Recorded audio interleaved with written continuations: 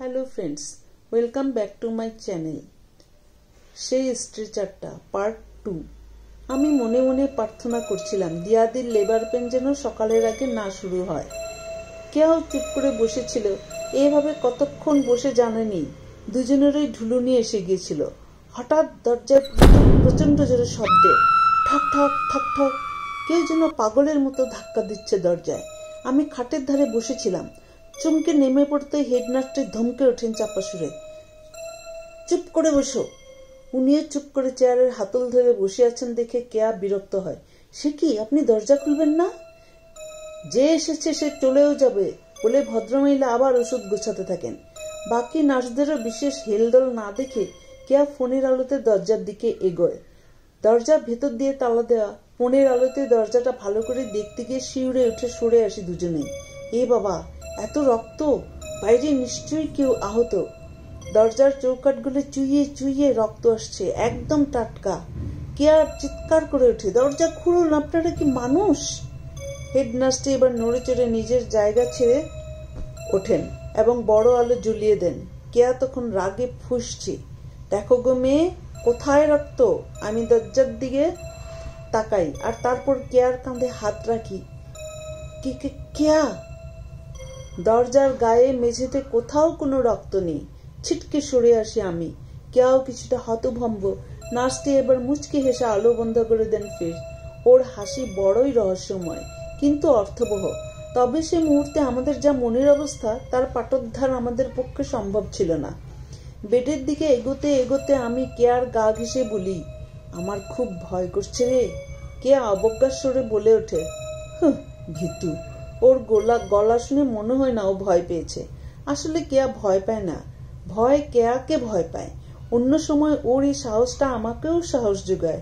কিন্তু জানি না, অস্বস্তি হতে শুরু করে ওই সময়। অলিককে ফোন করব? মনে মনে ভাবি, অবশ্য সে নিশ্চয়ই এতক্ষণে ঘুমিয়ে পড়েছে। ফোন লকটা খুলে দেখি, নেটওয়ার্ক নেই। বেডের উপর বসতেই একটা মর্মভেদী আর্তনাদ আমাদের কাঁপিয়ে দিল। দাঁড়িয়ে থাকলে আমি নির্ঘাত পড়ে যেতাম। কম বয়সী নার্স দুজন থরথর করে কাঁপছে। বয়স্ক নার্সটি চেয়ারে বসে আছেন। টেবিল ল্যাম্পের আলোয় ওর ঝুলে পড়া মুখের চামড়া এইসব ঘোলাটে চোখ তোবড়ানো গাল, আতঙ্কিত মুখ সব মিলিয়ে আমার ওকে দেখেই বেশি ভয় করছিল। ওর চোখগুলো কেমন যেন দয়ামায়াহীন। কোনো নার্সের চোখ কমন হয়? আমি কেয়ার গায়ে হেলান দিয়ে বসি ভয়ে ভয়ে? মনে মনে ভাবছি, আজ রাতটা কোনো রকমে কাটলে হয়। পিছন ফিরে দেখি কেয়া ফোনে গেম খেলছে।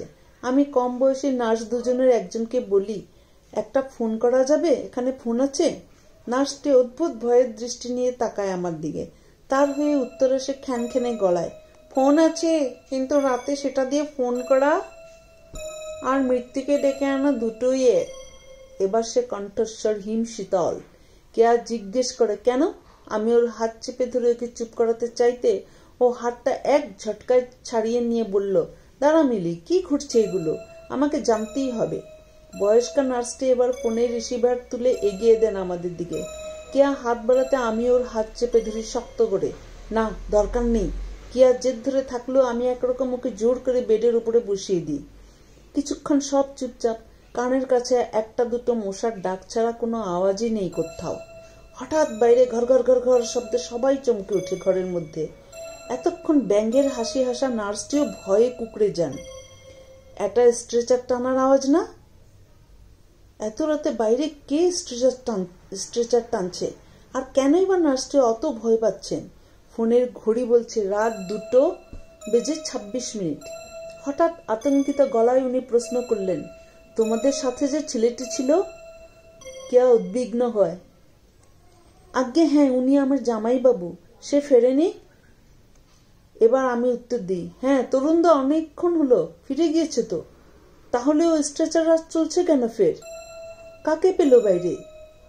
প্রিয়জনের বিপদের আশঙ্কায় অনেক সাহসী মানুষ ভয় পায়।